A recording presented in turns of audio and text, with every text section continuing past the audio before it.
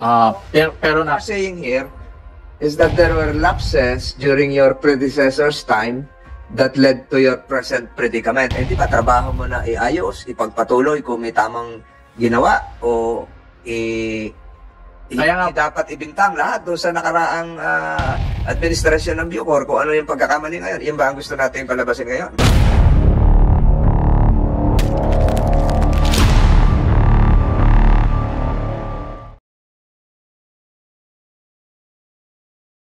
Na kung anong gagawin ko for the next uh, for the next five years that I I have to address the problems of Bucor. Una sa lahat, sir, uh, unang-una, 1973 yung huling Go ahead, sir. Go ahead. 1973 po yung huling kulungan na pinagawa. At yan po ay pinagawa pa po ng tatay ng ating Pangulo na President na Marcos Jr. Ang pinag nagpagawa po niya yung President Marcos Sr. 50 years po yan. Kaya po nagpatong-patong yan over the years. Ang kasya lang po dyan 12 mil o 12,000. Ngayon po 51,500 na po kami. So times almost times 5 na po ang laman ng Bucor. Akakala ko 30,000 lang. Ang 30,000 po, ah, yun lang po sa New Bilibid. Can you believe it? Tama. Pag sinama niyo po lahat, yung pati kasama yung mga kolonya na congested din, aabot po siya kami ng almost reach, baka bago matapos itong buwan na po, 52,000. Kasi po, ah, nung umupo kami, nagpapalabas kami ng 500 monthly. Ang, luma, ang pumapasok naman sa amin, eh 1,000. So, at the end of the year, 6,000 po yung additional na inaasikaso namin na PDL. At ah, ito po ay related lahat, almost 70 to 80% rela- drug related. And then po, ah may bago naman pong ah, kabanata yung Bucor, no? Na in 2013, nagpasa po ng batas para i-address po lahat ng mga problema ng Bucor for the last 50 years or at the time ah, 40 years. No? Ang problema po dito, ang nangyari, ah lalagyan po ng mga regional prison, pero wala rin naman pong naibag, naibigay na pera. Kaya ganun pa rin, umabot po rin po tayo sa 51,000. Pangalawa, nung create po itong batas na to, ang sabi doon sa batas, lahat ng pwedeng o gusto mag-uniforme, nag-uniforme. Mag-uniforme na. Kaya mo, yung mga civilian dito na nakapag-college graduate, nag-apply ng trabaho, binigyan kagad po ng rango ng lieutenant colonel. At ang iba pa po dito, trinomote po ng general, no? Parang nag-pass lane. Pero sa sa military po o sa uniform personnel, ang initial rank dapat lang po kung technical ka, kapitan. So talaga pong na-fast track lahat. Kumbaga ano, wala namang alam pa paano magpatakbo ng ng kulungan eh nabigyan ng posisyon dahil nga po dahil doon sa batas na yon. Nung nailabas na po yung implementing rules and guidelines para ma-implement ito, natapos po ito 2019. Ang problema po, yung mga nag-apply ng 2013, na sinabihan sila within 5 years, dapat ma-comply nyo para ma-validate yung position na pinagkukuha nyo, 1,400 po ang invalidated.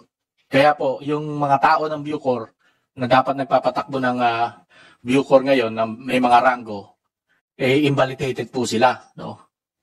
Ah, sa totoo lang po, ang nagpapatakbo ng Bucor na may rango at karapat-dapat na validated ng civil service, eh, sasampu.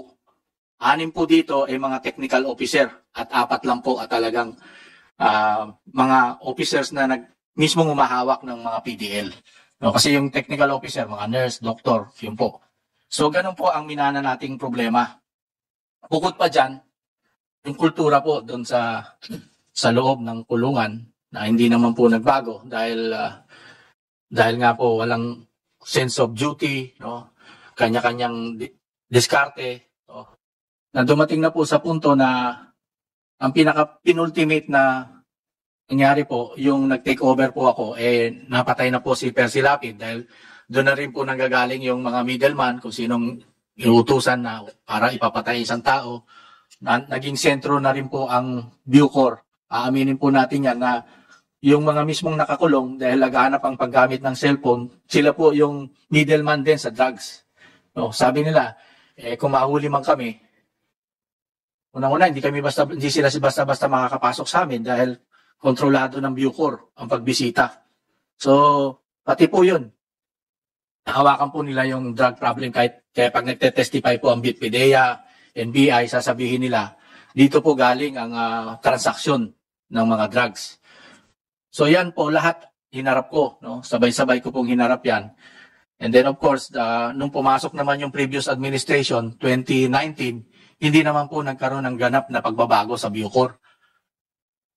Ang kabaliktaran po ang nangyari, nagdala po siya ng tao niya, mga 70, na galing sa labas, galing sa sa ibang ahensya, sila po ang nagtayo ng kanilang ah, grupo o kanilang kumbaga ano, kabal o kanilang ah, kung sindikato. Ibig sabihin nun, ah, nagtayo ng grupo, hindi consistent sa batas ng 2013, walang Opo. si in-apply na civil service ah, rules. Opo. Paano, ma paano makakasweldo yun kung hindi... Ah, kasi po galing po sila sa isang ahensya ng gobyerno. Eh, diretsuhin mo na. Sino Sa? BJMP po sila galing. Sino tinutukoy mo? Ah, si ano po, si ah, DG Bantag, yung dating DG. So, nagtayo, si- nagtayo siya ng sariling grupo. Nagdala po siya lahat na sabi niya, tao. hindi ko mapagkatiwalaan kayo. Pasensya na kayo. So, these were detailed. These were... ah, Opo, tinanggal po sila lahat sa posisyon. hindi po. Pa- Paano sila nakapasok? So, dapat yun eh, may Si conference. convent po, um, Yun, si Um, convent. um, O Mr. di, Chair. meron din prosesong dinaanan. Oh, pero po nung dinala sila dito, ah, mga ranggo lang po nila, mga tinyente, kapitan, pinapromote po sila ng colonel at saka general. Dahil po ang posisyon na inoccupy nila da, da- sa bagong batas ng RA 10575A equivalent to that position. So, hang- hanggang ngayon, ay, nandun ba sila? Natanggal po sila nung pumasok ako. Paano natanggal? Ah, Pinangunahan mo yung pagtatanggal? O Ang una po, saan nagbitiw? ah, nirelieve ko po lahat ng tao ng BJMP. Binalik ko po sa kanilang kanilang ah, mother unit. Pero nga po, ah, dahil nga sa tatlong taon silang, itong mga tao naman dito sa Bucor, tatlong taon din na hindi na ba, naka-floating.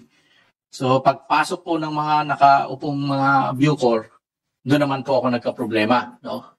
Ang sinalo ko pong problema nung pagpasok ko noong October 24 last year, nagsal, nagsalita po yung mga PDL na, Sir, pwede po ba kaming magsalita na? Kami po yung mga pinagsasaksak, ito yung mga sugat namin.